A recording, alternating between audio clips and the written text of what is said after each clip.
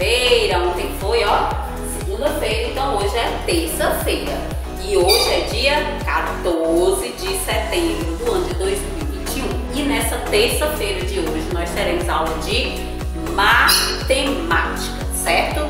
Então vamos aqui, bem rápido, revisar as casas decimais que nós aprendemos. Então nós aprendemos a casa decimal do numeral 10, não foi? A casa decimal do numeral 10 aparecendo aqui, ó. Aprendemos também a casa decimal do numeral 20, né, ó. Casa decimal do numeral 20 aparecendo aqui. Aprendemos também a casa decimal do numeral 30, que é formado pelo 3 e o 0. Aprendemos também, ó, casa decimal do 30 aqui. Aprendemos também a casa decimal do numeral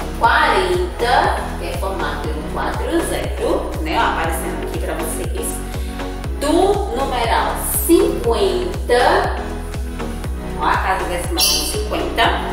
Aprendemos também a casa decimal do numeral 60, né? Ó, aqui, ó, a casa decimal do numeral 60 aparecendo aqui para vocês.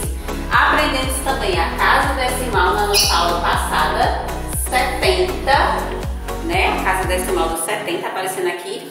E hoje vamos aprender a casa decimal do numeral 80. Então, ó, para vocês não esquecerem, sempre que a gente disser numeral 22, sempre que eu disser 20, começando pelo numeral 2, 33, 34, sempre começando pelo numeral 3.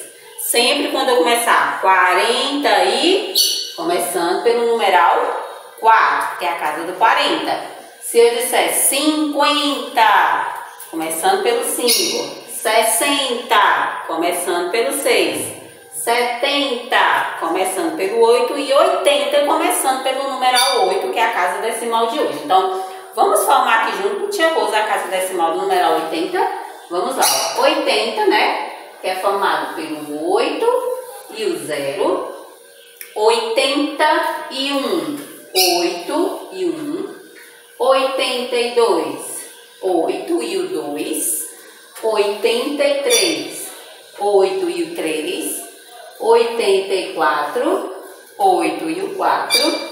85, 8 e o 5, 86, 8 e o 6, 87, 8 e o 7, 88, 8 e 8 e por último 89, que é formado pelo 8 e o 9. Muito bem. Vamos contar aqui bem rapidinho. Vamos lá. 80, 81, 82, 83, 84, 85, 86, 87, 88 e 89.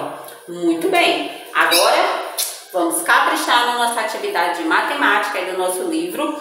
Um beijão, bons estudos e até a nossa próxima aulinha!